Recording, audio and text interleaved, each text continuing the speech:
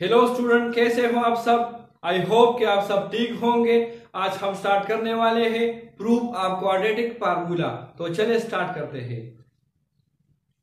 सबसे पहले हम क्वाड्रेटिक इक्वेशन का जो जनरल फॉर्म है, वो लेंगे। A x square plus b x plus c is equal to zero इसके बाद एक्स स्क्वायर का जो टर्म है ए इसको हमने सारे टर्म पे डिवाइड किया।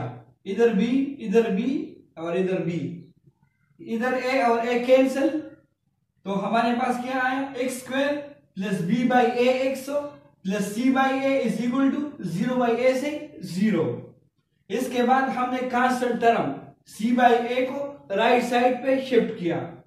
फिर अगले स्टेप में एक्स का जो कोपिशन है b by a b by a का हाफ़ लिया, यानी टू पे डिवाइड किया।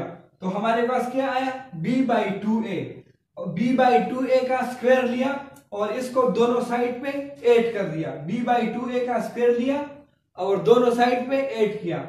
तो हमारे पास इधर फार्मूला बना a plus b whole square वाला। इसको हमने क्या लिखा?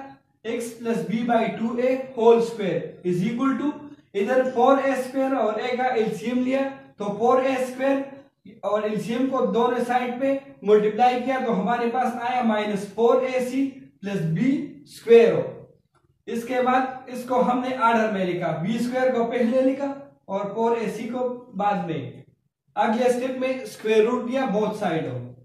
तो स्क्वायर रूट से स्क्वायर और स्क्वायर रूट कैंसिल और यहाँ पे प्लस माइनस हुआ। इसके बाद इस स्क्वायर रूट को b square minus four a c पे अलग लिखा और फोर ए स्क्वायर पे अलग लिखा।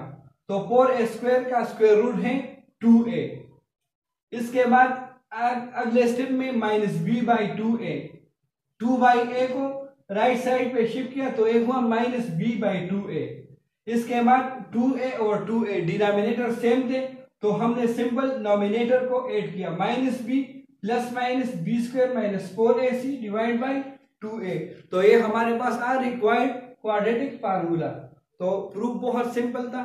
Thanks for watching